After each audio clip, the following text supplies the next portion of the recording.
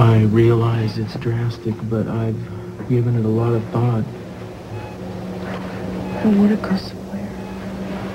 I don't want to leave you. I know. But hopefully it won't be for too long. How do you know? Maybe it could take weeks before you find whoever's behind this big drug ring. Darling, the fact is you're not safe here anymore. Those people have targeted you, and we can't assume they're going to let go until they know you're out of the picture. They could very well come back and try again. I can't let it happen. We could put a guard at the house. You know, someone to follow me back and forth to work. Is that what you want? Be deja vu of what it was like after the rape? No.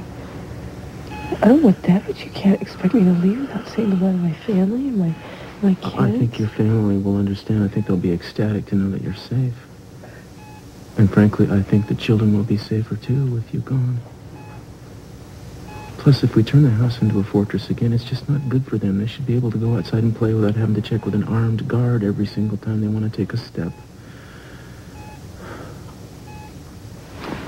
I realize it's awful, but I really don't see that we have another choice.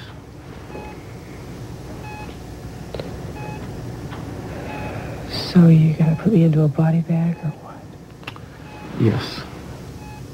And we're going to take you in an ambulance and get you to the airport and put you on a plane. Everybody's going to think you're still in this room in a coma. Then once you're safely in the air, the news will hit the media that you have regained consciousness and are expected to be able to identify your attacker. Dude, hoping the attacker will come here to the hospital. Exactly. And once he does, we should be able to nail him. Once we have him, he should lead us to the others. And hopefully once every last rancid one of them is in the bag,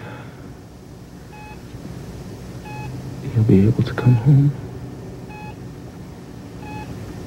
I'm sorry. I really wish there was some other way.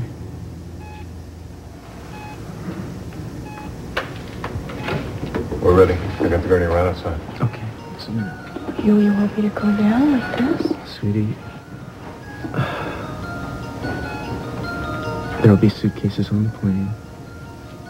I put a change of clothes in the van. I hired a private nurse. She'll help you dress. I'm sorry. I have no choice, babe. You know I love you. You know I love you. More than anything, I love you, baby.